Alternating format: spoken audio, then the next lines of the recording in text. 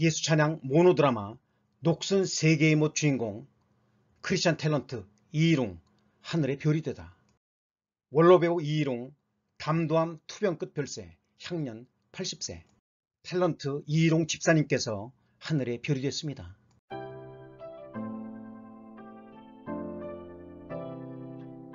탤런트 이일웅님은 독실한 기독교 신자입니다.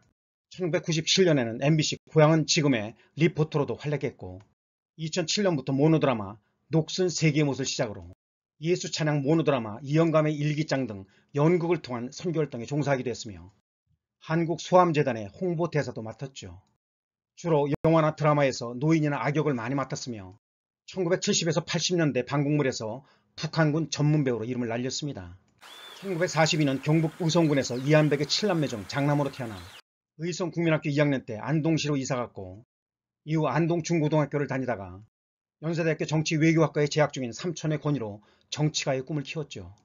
그러나 고2 때 서울 중동고등학교로 편입하여 영어 교사 덕에 연극반에 들어가면서 연기의 뜻을 두었고 졸업 후 동국대학교 영국영화과로 진학해 학생회장도 맡았습니다.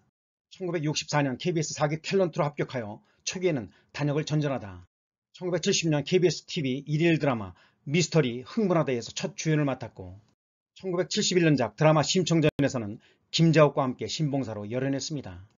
대추나무 사랑 관련된 배우 이일웅 별세 향년 80세 1970, 80년대 방공 드라마에서 북한군 역을 주로 연기한 배우 이일웅이 소천했습니다.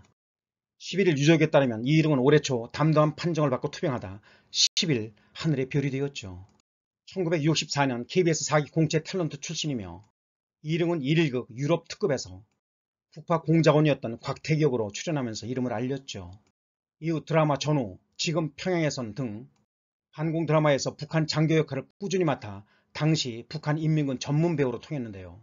함경도 사투리를 억세게 소화하는 게 그의 특기였습니다. 이름은 KBS 장수 드라마 대추나무 사랑 관련내에서 판수역으로 오랫동안 시청자와 만났는데요. 이후에도 제3공화국, 제4공화국을 비롯해 태조왕건, 야인시대, 토지, 대조영 등 시대극에 주로 출연하며 연기 활동을 이어갔습니다. 이롱님의 빈소는 서울 동대문구 경희의료원 장례식장 101호에 마련됐으며 발인은 13일 오전 6시에 엄수됩니다. 이롱님 그동안 감사했습니다. 안녕히 가세요. 오늘도 성령님과 동행하며 축복받는 하루가 되시기를 기원합니다. 모든 문제의 해답은 예수 그리스도이십니다. 마음에 감동이 있으신 분은 가까운 정통교회로 나가세요. 예수님을 정말로 사랑하는 크리스천 튜브였습니다.